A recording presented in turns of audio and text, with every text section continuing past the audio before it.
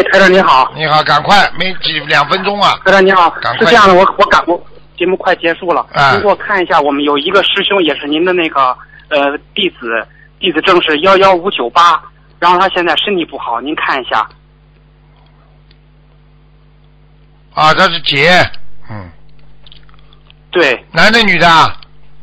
是女的，女的，犯戒了，哦，是哪方面呢？他钱台财，哦，他现在还在住院，而且他这次要去新加坡，已经去法会了，那个机票都买好了。你看他们可以去吧很麻烦的给他的报应很重。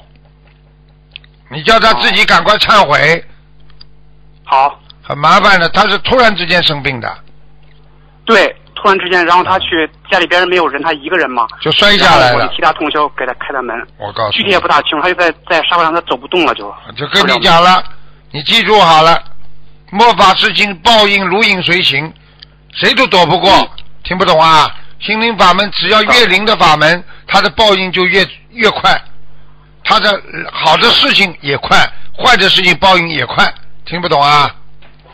好，叫他赶紧忏悔小房子？忏悔，嗯叫他每天忏悔好五遍礼佛，好，小房子要一百零八张。一百零八张。好，嗯嗯，他骗了，他其他那个赢得了一个老太太对他的信任，老太太给过他很多东西，你叫他自己忏悔去吧，哦，好吧？好的好的。嗯那你看他的电话呢？幺幺五九八那编号。